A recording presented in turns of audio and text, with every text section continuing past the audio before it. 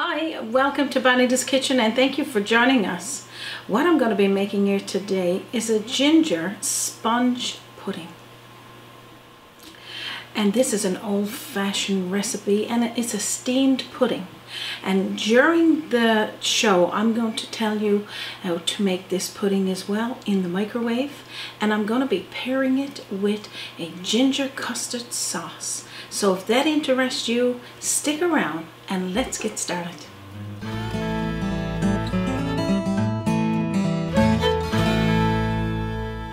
So what we're going to do first is add a quarter of cup of molasses. You can go regular uh, table molasses or your dark cooking molasses. It doesn't matter. Put that into a measuring cup or a bowl and then add in a quarter cup of milk. Now I'm going to nook this in the microwave for about 30 seconds and if you don't want to do it in the microwave you can warm it on the stove top. So after you've warmed the milk and molasses just stir it together till it's all combined and then set it to the side because we're going to need for this to come to room temperature and that's all we need to do with that. So next we're going to add in our dry ingredients, which is one cup of all-purpose flour, and you could use flour of choice. We're going to have two teaspoonfuls of ground ginger. You could use fresh if you got it. One teaspoonful of baking powder. I'm also going to share the recipe at the bottom of the screen. Two tablespoonfuls of brown sugar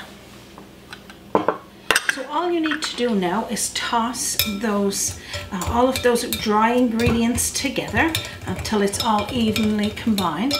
And oh, and then what you can do is get yourself a boiler, medium-sized boiler, put about three to four cups of water in there. Start that warming on a stove top on a medium heat. And then when we make our pudding, and I'm going to be making this one steaming it in um, a pudding tin. Um, and then I'll show you then how to put that in the boiler and cover it and get ready to cook. And then what we're going to do here next is add in two or, or a quarter of a cup of butter or two tablespoonfuls and add it right into the dry ingredients. Um, so like I was saying, you can add in a couple of tablespoonfuls of butter or margarine or quarter of a cup or even a little bit more if you want to. It's entirely up to you. You're just going to pinch this through into your pudding. Now years ago here in Newfoundland and Labrador, puddings was almost at every every table at every meal time because it was more of a filler for a big family and you could have it as a dessert, have it as part of the meal. It doesn't matter. But then after you've combined your butter, that's all you need to do with that. I'm to break one large egg, pop into a little bowl, put this one to the side, and just toss that together.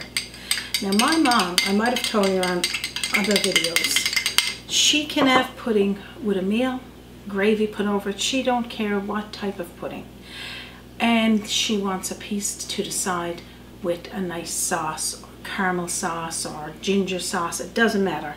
But today we're going to make a delicious ginger custard sauce, which you are going to love. So what we're going to do now, we're going to do a combined, alter, alternating the molasses and milk, putting the egg in and mixing that through. So let's get going on that. So we're going to toss the beaten egg on into the mixture. And then we're going to slowly mix in that room temperature molasses and milk until it's all combined. And just mix it on in there. It smells amazing. If you like ginger and you want more ginger because I can just have this like lots of ginger. But if you like ginger, you can add more. And of course, certainly you can do uh, the fresh ginger into this mixture as well, or the ground. And that's all you need to do there. Delicious.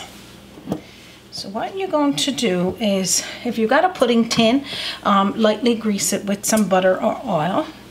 And then take all of this mixture and toss into that tin. And then I'm going to tell you what you're going to do next. So just smooth out the pudding batter into the bottom of your pan. I'm going to grab for a knife there now or get Raymond to get one for me mm -hmm. and mm-hmm. clean off this spatula and then I'm going to show you what's next. Thank you Raymond. Oh, you're welcome.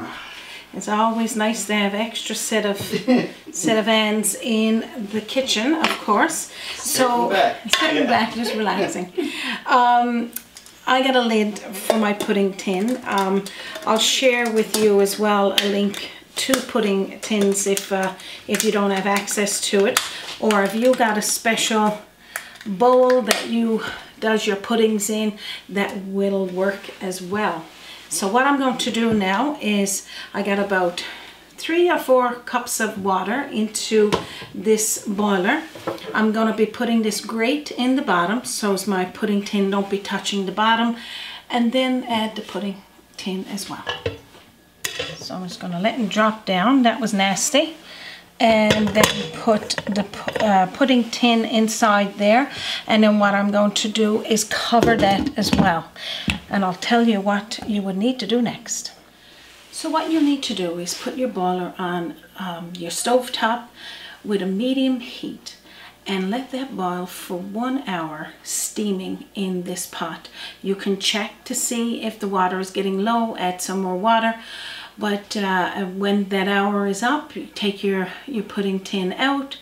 I'll show you what that'll look like. If you need to go a few more minutes, that's fine, you can do that.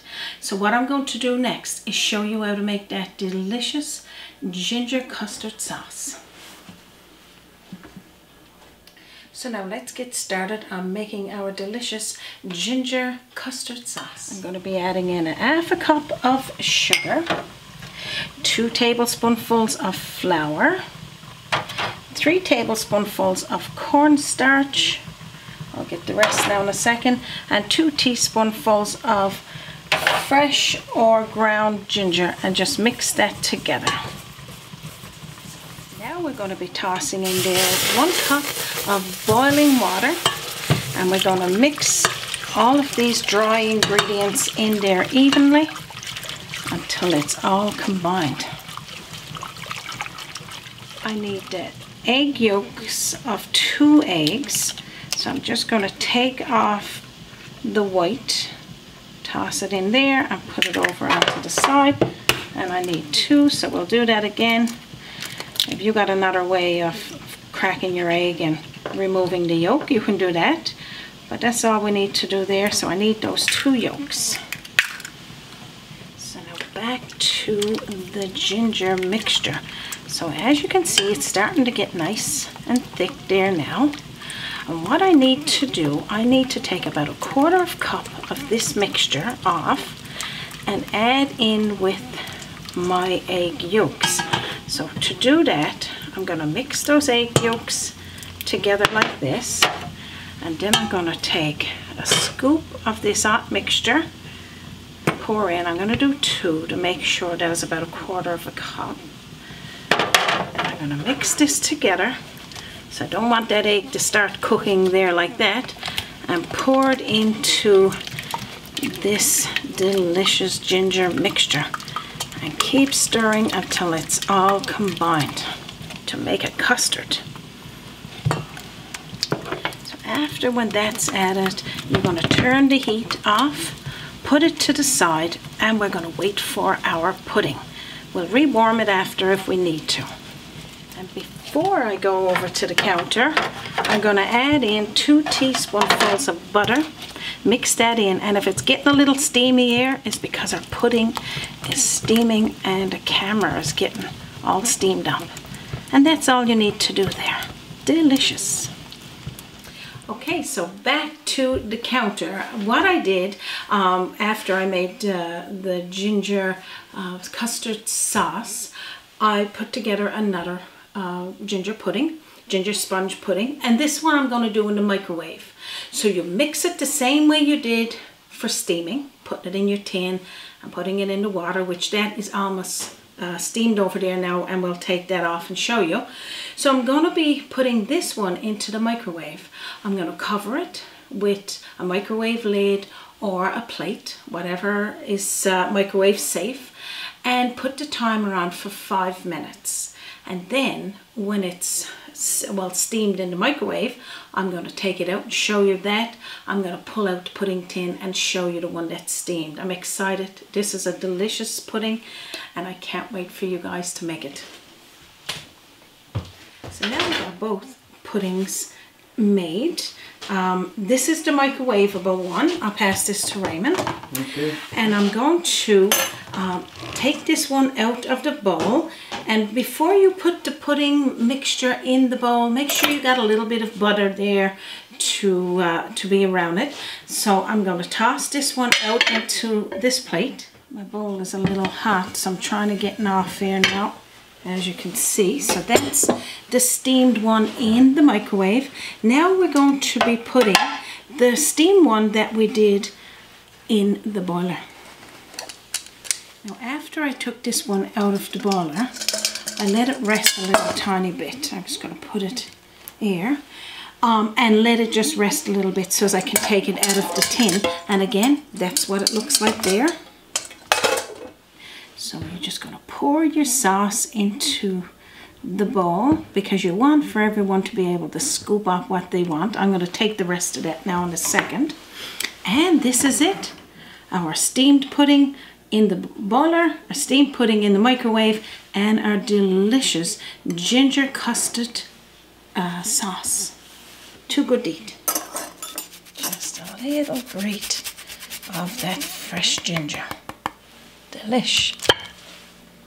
So what I'm going to do now, I'm going to cut two pieces. I'm going to cut a piece from the microwave style ginger sponge pudding. And that's that one. And I'm to cut one piece from the steamed in the boiler pudding. Both of them is equally as rich. Difference in color, but the same um, mixture as we did. And this is it. Now I'm going to take up a piece and have a little taste. So I got a little piece taken up here. Now I'm to put some of that delicious ginger custard and a little small dollop of the thick cream. This is what we use here in Newfoundland and Labrador, but necessarily you could use whatever you got available.